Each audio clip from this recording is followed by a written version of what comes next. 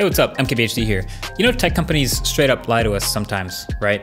Like, there's now there's different types of lies, and there's definitely different levels to this. Honestly, most of it is harmless, but it is fascinating. And I think you might be surprised by how much stuff we might take for granted that's not actually real. So, I and many other very optimistic people have been waiting for the new Tesla Roadster to be the first reasonable two door electric sports car ever since it was unveiled five years ago in 2017. Can you believe it's been five years? They originally said it would come out in 2020.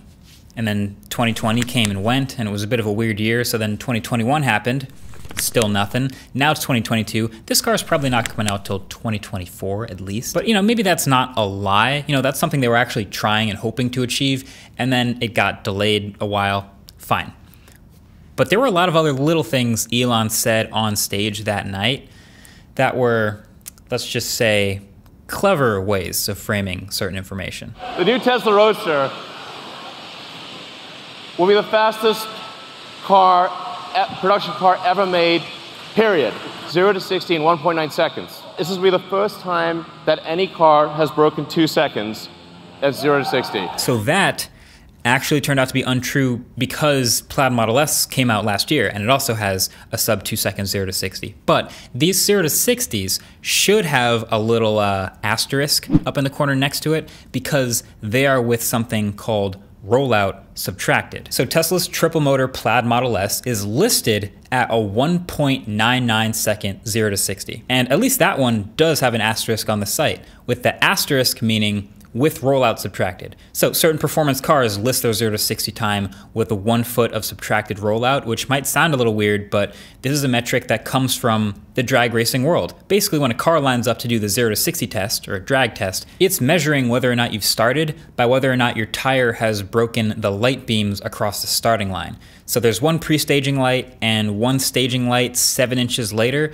The clock starts when the tires are no longer breaking that plane. But there is a small bit of speed gathered as the car launches before it stops blocking that first light. And then the second light, that is the one foot rollout. A fast car can reach five to six miles an hour in that one foot rollout, which cuts the reported 0 to 60 time anywhere from 0.2 to 0.3 seconds. That's actually a, a bigger gap the harder the car launches. So every real world test of the Model S of people on the street going from zero to 60, or even on drag strips, zero to 60, it's always been measured at like 2.15 to 2.25 seconds, which is still absolutely ridiculous. But by measuring with one foot rollout, Tesla was able to achieve 1.99 seconds. I assume they achieved it at least one time in order for them to put it on their website because that's a way cooler headline and a way more impressive stat. But that should have that asterisk next to it.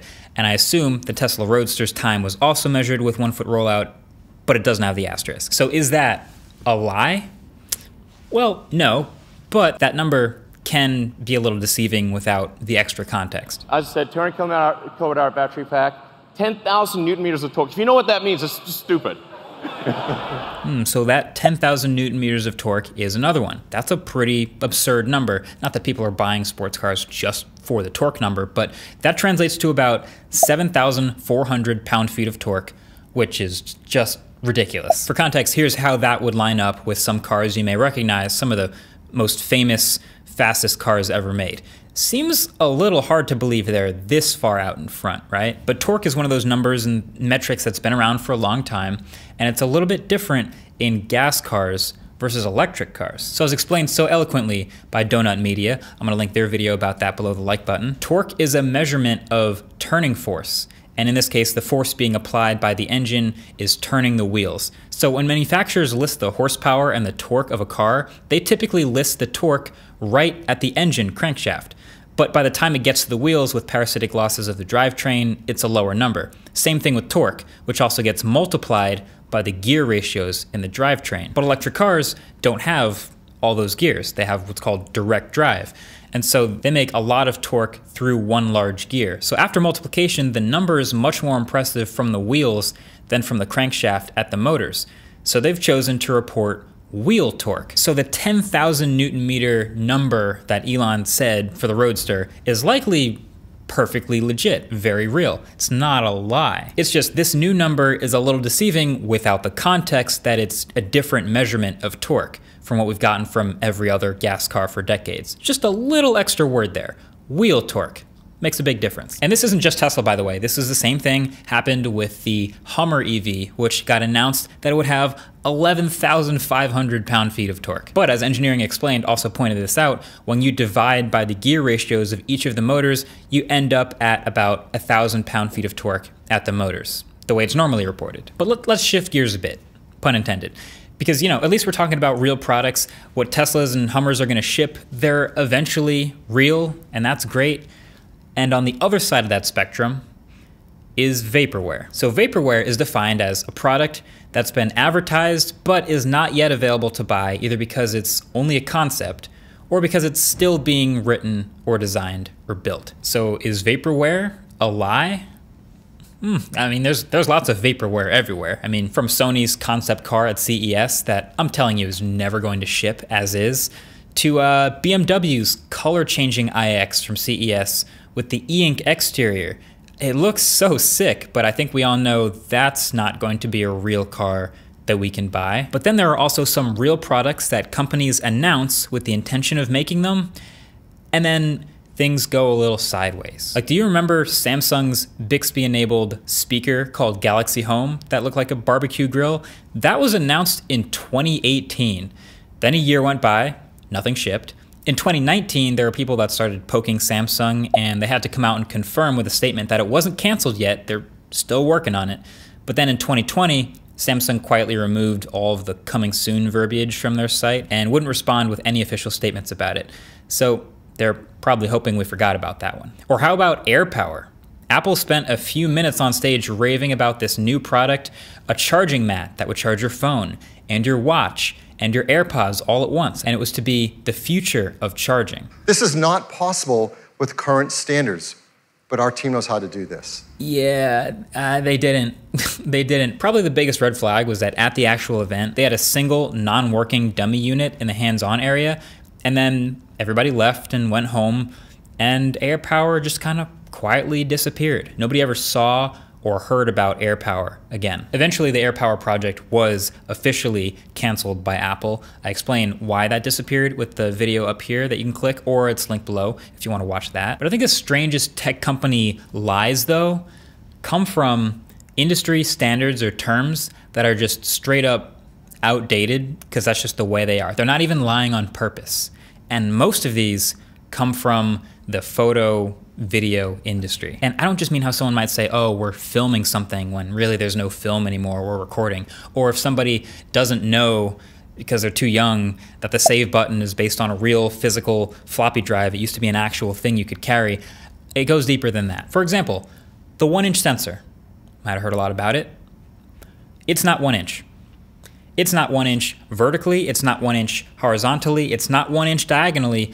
No part of a one inch sensor is actually one inch. Now, you might have seen that point and shoots like Sony's RX100 famously use a one inch sensor, or that there's even a couple new smartphones popping up like the Sharp Aquos or Leica smartphone or the Sony Xperia Pro I that have huge one inch sensors. But despite all the headlines and all the articles and titles and captions and tweets and anything else you might read, if you're thinking that a one inch sensor refers to a one inch measurement in any way, then you'd be wrong, just like I was when I first found this. So it turns out a one inch sensor's dimensions are about 13.2 millimeters by 8.8 millimeters. Now, if you're not already annoyed by switching between imperial and metric, you've realized that that's less than an inch in both directions. But what about the diagonal? Well, with a little Pythagorean theorem, that calculates out to 15.9 millimeters, which is also not one inch. So how did we get here? How is this a one inch sensor?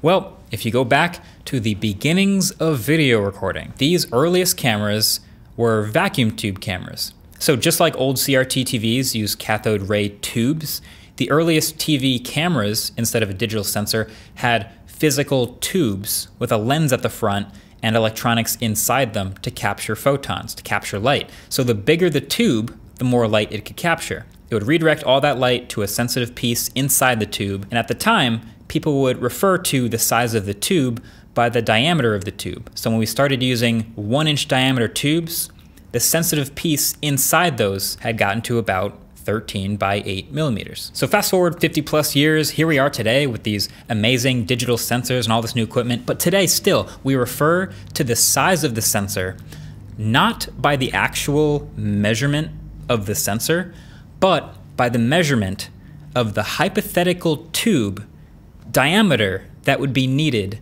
to fit the sensor of today's current size. Wow. So today we have one inch sensors. They're called one inch sensors because the diameter of the tube that would fit a sensor that's 0.63 inches diagonally would be a one inch tube, but it's a 0.63 inch sensor. So that actually means all of the other sensor measurements that you have relative to one inch are also relative to this hypothetical inch. So the half inch sensor isn't half an inch, it's half of the hypothetical one inch sensor. Uh, so, is it a lie when these companies say that their products, their cameras, have a one inch sensor? Yeah. Yes and no. I mean, no, if you know what they're talking about. Even if it is a lie, though, it is a pretty harmless lie because a one inch sensor is still a pretty big sensor, yeah? But there are all kinds of products that have come out where the big selling feature is the one inch sensor. Like you might remember the DJI Air 2S drone when it was unveiled. The spec sheet on Hasselblad's site and on DJI's site, and all the articles, it all says one inch sensor. Like that's a one inch sensor, guys. Or maybe take the Insta360 1R. You can pay extra money for a one inch edition, which is a 5K capable one inch sensor. One inch sensor. One inch sensor. Like every headline I can remember seeing about the Sony Xperia Pro I, this crazy new smartphone, mentioned the one inch sensor. And even my video, Guilty, talks about how they're using a one inch sensor which at no point actually says the real dimensions of the sensor. Now, Sony makes most of these actual sensors we're talking about, and Sony's own website for this phone says it has a one inch sensor. But wait, there's a little asterisk. And if you scroll all the way down and read into what that actually stands for, it turns out it's a one inch 1.0 type Sony image sensor. Ah, see, it is a pretty big ask to ask the entire photography industry to redefine sensor sizes, but that is probably how we should be referring to these sensors as 1.0 type sensors because they're not actually one inch sensors. But, you know, Sony's own website uses both terms at any given point interchangeably to refer to the size of the sensor. And I think if you ask these companies, they'd probably like to have you believe that they're one inch diagonal sensors. If they never clarify, then maybe that's a lie by omission. I don't know. How do you feel about that? Part of my job as a reviewer, I think, is to sort through all of these statements from companies that get made all the time and one, figure out how real they are, and then two, if they're not real, find out how harmless or harmful is that lie because it's definitely a spectrum. I remember when there was this huge uproar about transparent backed phones where you could kind of see through the back of the phone and some of the components inside. And it was this really cool, nerdy design. But it turned out this was just a sticker, and the components that you were looking at weren't really the working parts of the phone they led you to believe they were. So is that a lie?